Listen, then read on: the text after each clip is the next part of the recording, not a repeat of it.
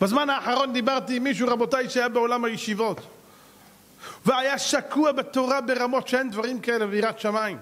רבותיי, הוא הידרדר לרחוב למקומות הכי נמוכים שאתם יכולים לדמיין, הכי הכי הכי הזויים. כמה הייתי מזהיר אותו, כמה הייתי מדבר אליו, כמה הייתי מזעזע אותו. עזוב, טוב לי, בינתיים. אבל היום, רבותיי, זה שוקת שבורה, בא לו לשים קץ לחייו. הנה, זה לא יאומן כי יסופר, זה לא חיים. זה מוות! מה שפעם היה נראה לו כחיים, היום הוא מבין שזה המוות הכי גדול. מה טוב הוא עליך יעקב משכנותיך ישראל. כנחלים ניטעו כגנות עלי נהר. כמו שחז"ל אומרים, מה הקשר בין אוהלים לבין נחלים? אומרים חז"ל, כמו שהנחלים מעלים את האדם מטומאה לטהרה, אדם טובל יוצא טהור, ככה האוהלים, האוהלי יעקב, האוהלי התורה, מעלים את האדם מטומאה לטהרה. מה בעולם הזה מתאר אדם? מה, מה הופך אדם להיות בן אדם? תגידו לי אתם.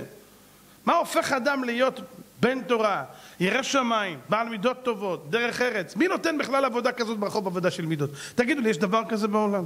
מישהו מדבר איתך על מידות, על קנאה, על שנאה, על תחרות? זה...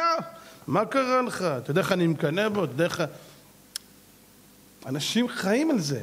זה המוטו של הרחוב, המוטו של הרחוב זה קנאה, המוטו של הרחוב זה שנאה, המוטו של הרחוב זה תחרות, זה, זה הרחוב, מה זאת אומרת? כל אישה מתחרה בשנייה, כל גבר מתחרה בחברו, כל ילד מתחרה בחבר שלו, בני נוער בכלל, השם יצילנו. מי יביא? מי יביא? וואלה, אח שלי, מי יביא את האחת הכי פצצה? וואלה, אני אביא אותה. ואם הוא הביא אותה ומישהו יסתכל עליה, זה סיבה ללכת מכות וגם דקירות.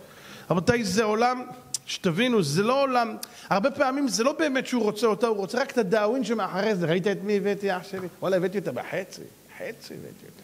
הבאת אותה בחצי. תראה איך אתה נראה, תראה איך היא נראית. איך אומר לי אותו בחור, הרב, רק היום אני מבין כמה הייתי חמור. אמרתי לו, מה? אומר לי, וואלה, הייתה לי מישהי. חודשים הייתי איתה. וואלה, בסוף הבאתי לה כאפה לתוך הפנים.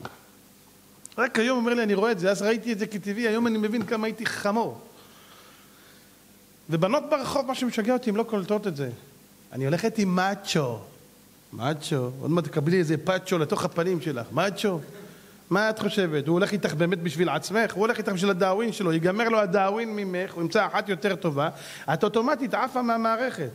זה, זה הכל עניין, רבותיי, הכל עניין של אינטרס. רבותיי, אין מילה יותר אכזרית בעולם מהמילה אינטרס, תדעו לכם. אין יותר בעולם גרוע